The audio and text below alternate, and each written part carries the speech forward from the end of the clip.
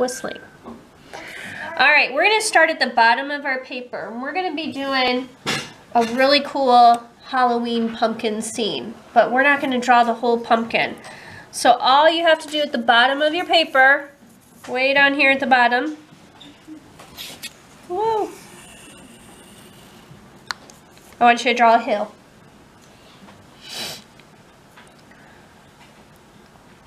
I have some pumpkins over by the window right now. You guys can see those. The fifth graders are drawing those in a still life. All right, towards the top, but not at the top, I want you to draw a smile.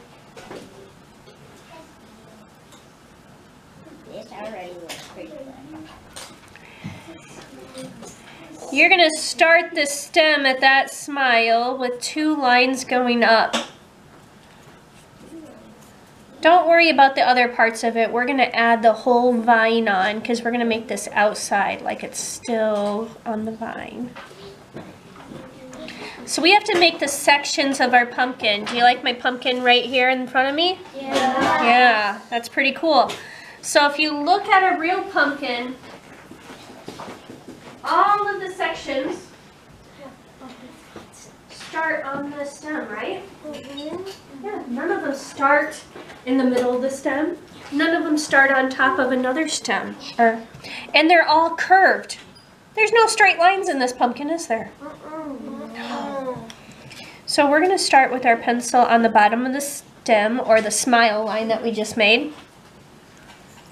And we're going to make a curve right off the bottom of the paper.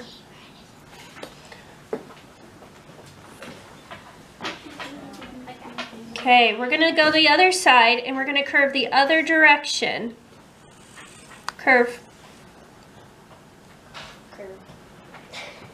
Like it. So it looks like the top of an oval, right? Well, look at that. It looks like the top of a pumpkin section. Is that a real pumpkin? That's a real pumpkin. It's just one of those little, yeah, small pumpkins. All right, go right back up to this bottom of the stem. Now, on the right side, I'm going to curve to the right, right off the bottom of the paper. On the left side, still at the bottom of the stem, I'm going to curve to the left. It's okay if you go outside your line. I still got some room over here, so I'm still starting at the bottom of the stem. Don't sneak up here to the top of the stem. I'm going to go line all the way out to the edge of my oval.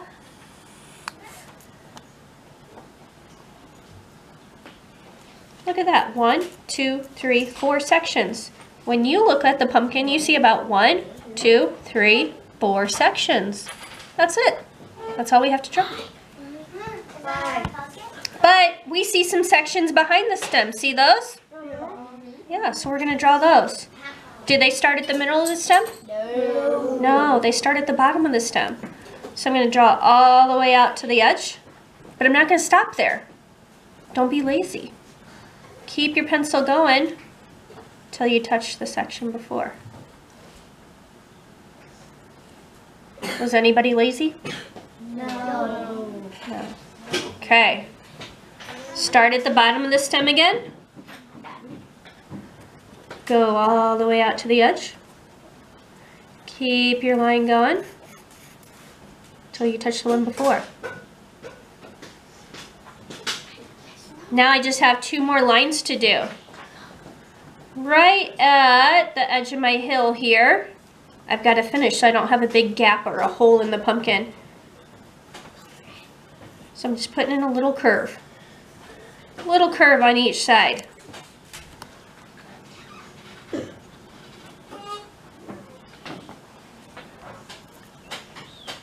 Okay, now, before I forget, because I about forgot, turn your paper over and write your name on the back of it.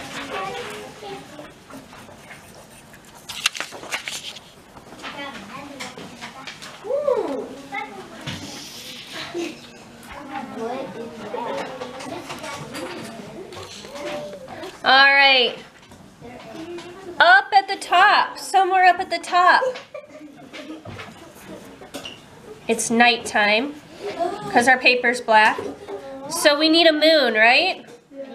You're gonna decide. Don't put it right in the middle. Don't be boring. You decide if you're gonna do a circle for a full moon. Are you gonna do a crescent moon? It's up to you. I want to do a crescent moon. Guess what? That's a letter C with the letter C in the middle of it. It's a C. It's a double C. Is a crescent moon? Mine's a crescent moon. You can have a full moon though, but your moon needs to be round. That's an oval moon. Moons are not ovals. I I could I can't make a. Now, if you made a mistake, colored pencil will erase a little bit, so you can erase if you need to.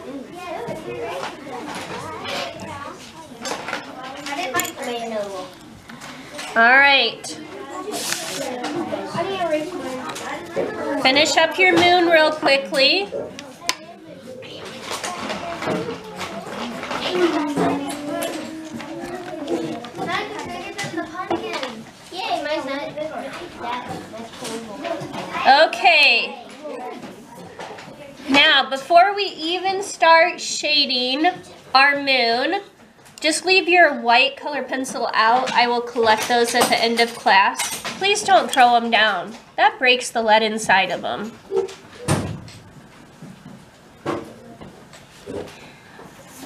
We're going to start with the light coming off of the moon. Okay? So you're gonna need a yellow or a white oil pastel.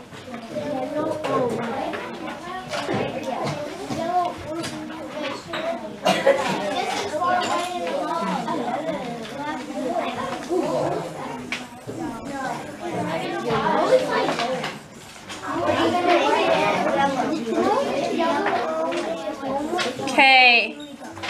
So my moon is going to be radiating light. So I started with a little bit of my yellow and I just went around my moon.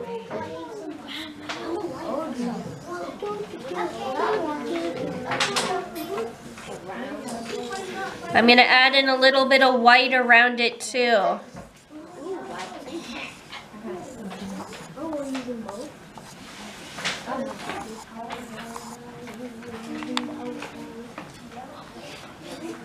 Let's see if I have another shade of yellow. I only had the really light yellow. This will work.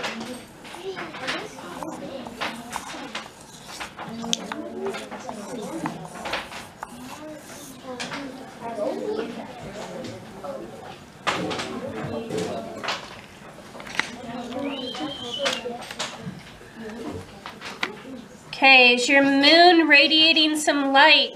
Nolan, radiate it. Don't just draw an outline around it. Make that light shine outward.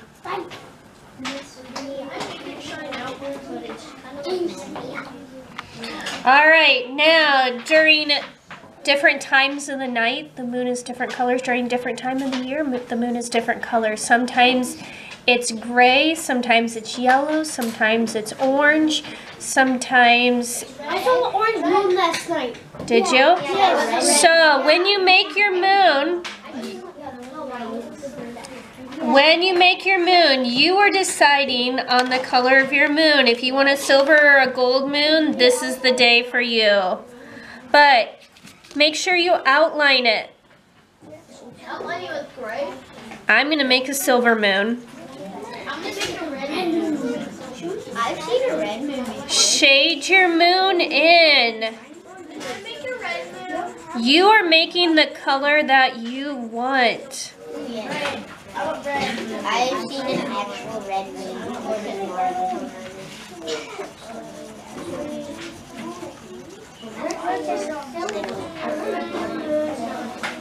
That was a little dark. So I'm going to blend a little bit of white into it. That way we can see the shape better. Right here. I found I got silver. I'm not coloring in the. You might also want to put the craters on your moon. Some craters are little Like black. Some lake craters are bigger. Wait, are you using? I'm using navy blue. You can use the color that you want. You are the artist. Yellow. Mine is black.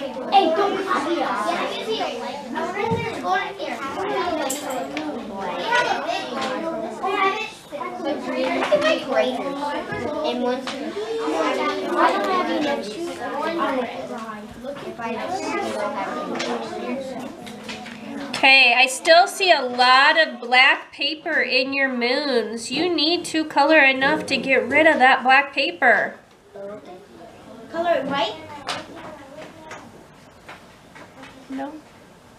You color it the color you want to, but you need to cover up the black paper. Okay, I'm coloring. Do we color the pumpkin? Not yet.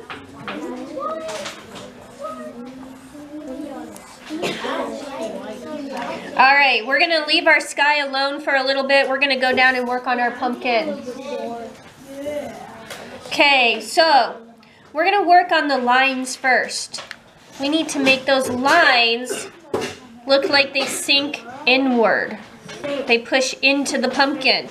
So do we want to make those darker or lighter? Darker. Darker. So I'm going to use a red.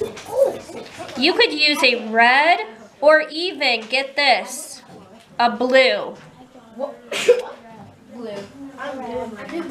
Yeah, blue. Like blue. You are just going to trace over the lines. You know what the colors are.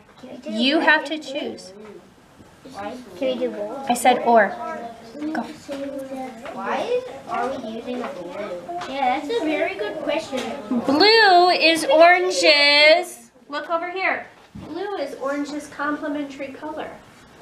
So when you mix them together, it makes the orange really, really dark.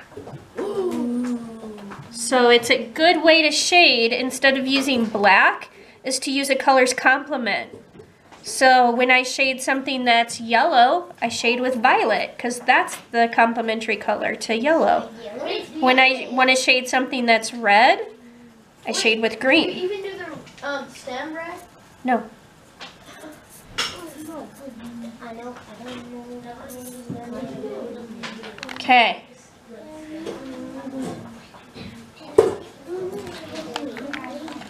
We're going to put our highlight on our pumpkin because our moon is shining light out, right? So it's going to have highlights on it. You can see the little highlights on this pumpkin here. They're little shiny spots.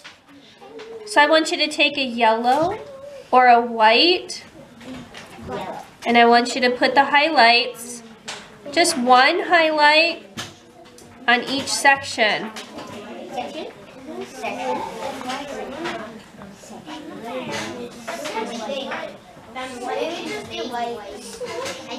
A yellow or a white.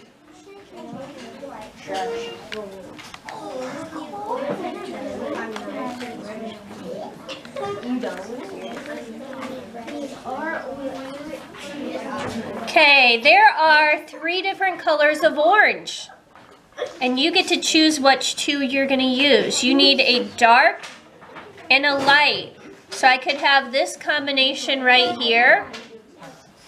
Or I could have yellow, orange, and orange. This would be my dark. This would be my light.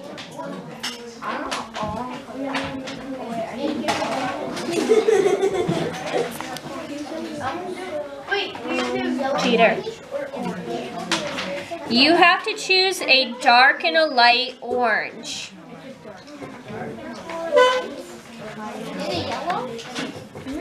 I just said orange. A dark and a light orange. Okay. So, we are going to use our lighter orange right around our highlight. So I like to just kind of outline the highlight. That way I don't accidentally color into it. With your light orange, outline your highlight. What you need? There are three extra bins on the counter if you need another color, Reagan.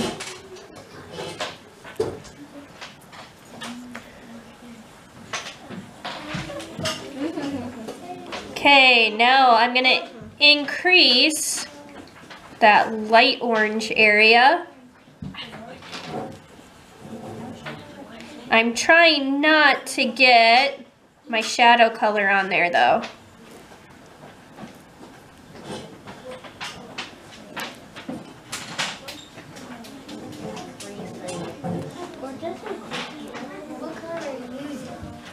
Still the same light orange.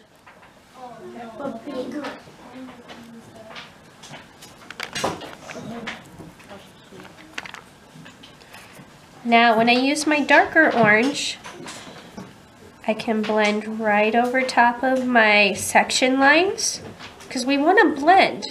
So if you have blue, you're blending the orange right on top of it. I'm going right up to the edge of my light yellow and I'm blending with it. But I'm not coloring over all of the light yellow.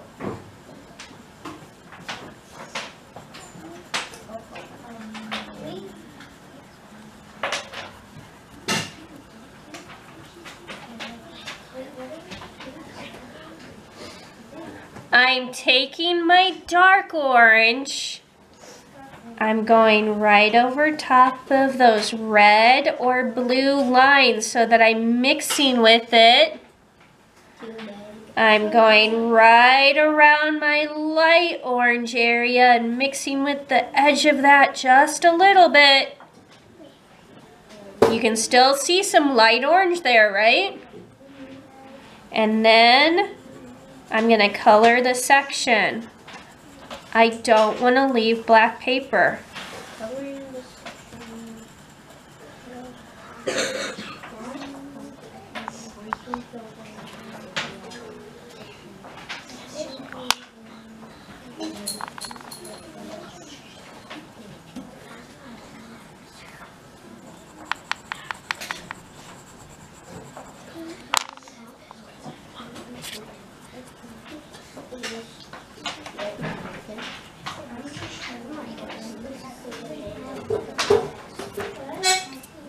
Okay, I've got just a little bit more to do. Those sections in the back are really little, so I have to be careful not to color over my highlight, not to color over my light area. So I have to be more careful as I go back.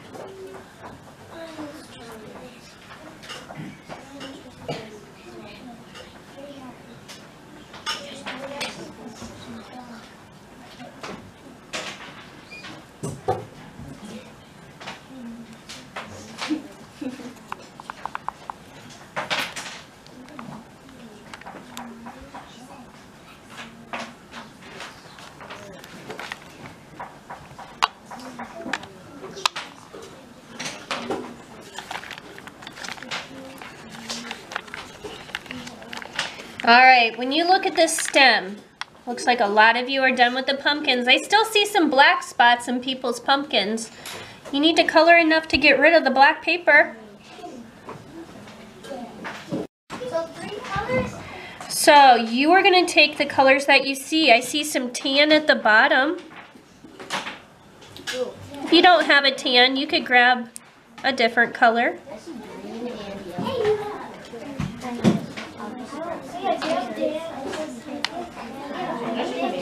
Then I'm gonna use my other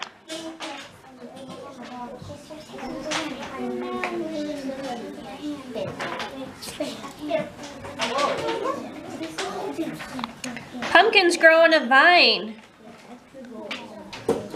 in the fields. If you drove to Morton this fall before they pulled the pumpkins in, you Oh, saw them in the fields. I had a soccer tournament in Morton. The Morton Yep. Pumpkin Festival. So I'm going to use my green or my other colors after the tan just to put some lines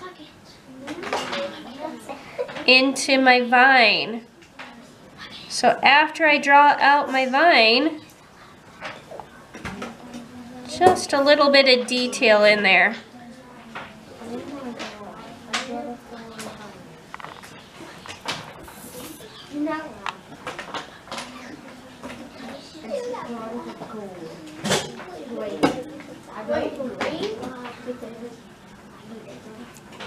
Or you might want some brown. You can decide if your vine still has a few leaves on it or not.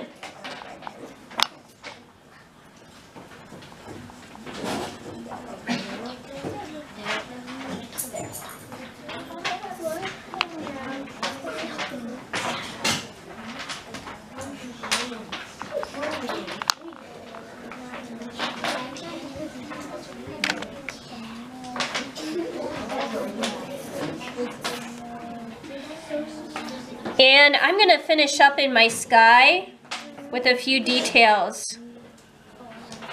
I'm gonna put some bats in the sky. I have bats at my house that come out every night. Hopefully they're not living in my house. They did a couple of years. It was hard to get them out. I started with an oval. I know it's hard to see. To. Super zoom. You do not have to put a bat in there if you don't want. You don't have to do anything. Gave it some little ears. Wings. Use a dark blue. Use a purple. Use the color that you want to use.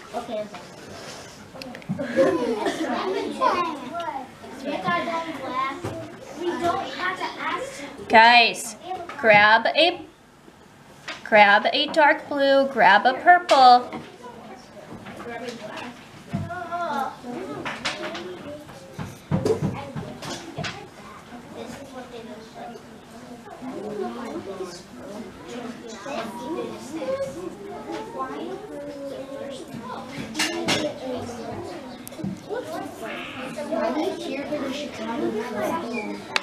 All right.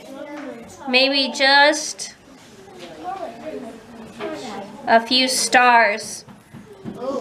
It's hard to make little stars with the oil pastels because they're so thick. I just do the X with a T on top of it.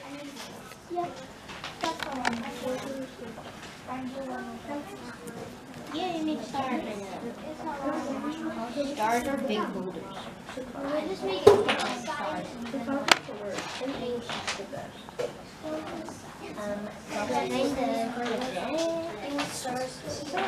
All right. You get to take your pumpkin picture with you. I need you to put your oil pastels back in the tub.